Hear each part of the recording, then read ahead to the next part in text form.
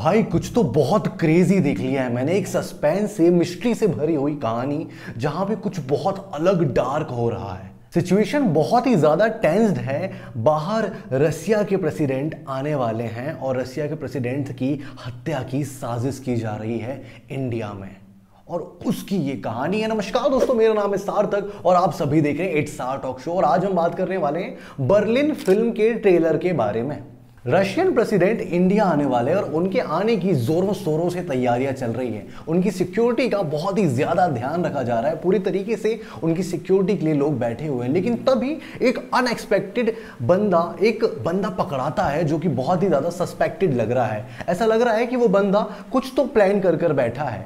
लेकिन वो बंदा कुछ बोल नहीं सकता, सुन नहीं सकता। अब उसको पकड़ने के बाद एक साइन लैंग्वेज एक्सपर्ट को बुलाया जाता है जो कि उसकी भाषा को समझ पाए और बाकी लोगों को बता पाए कि आखिर उसकी प्लानिंग क्या है, वो चाहता क्या है। लेकिन फिर क्या हुआ? वो जो बंदा साइन लैंग्वेज एक्सपर्ट बनकर आया है, क्या वही विलन है?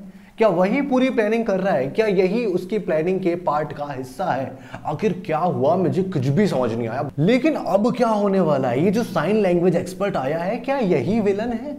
क्या ये सब उसकी साजिश का हिस्सा है? क्या यही प्लानिंग उसने बनाई थी? पूरी प्लानिंग क्या उसके हिसाब से चल रही है? भाई, कुछ भी हो, जो भी क्रेजी हो रहा है माइंड ब्लोइंग हो रहा है। अपार शक्ति खुराना की एक्टिंग स्किल बाप लेवल है भाई। जिस तरीके से वो बंदा रोल कैरी करता है, अभी हमने उसको स्त्री में देखा फन लविंग कैरेक्टर निभाते हुए कट टू बर्लिन में बिल्कुल सीरियस कैरेक्टर यार उस बंदे की एक्टिंग स्किल बहुत ही ज़्यादा वर्सेटाइल है। फ़िल्म का ट्रेलर मैंने देखा और ट्रेलर बहुत ही ज़्यादा इंगेजिंग था।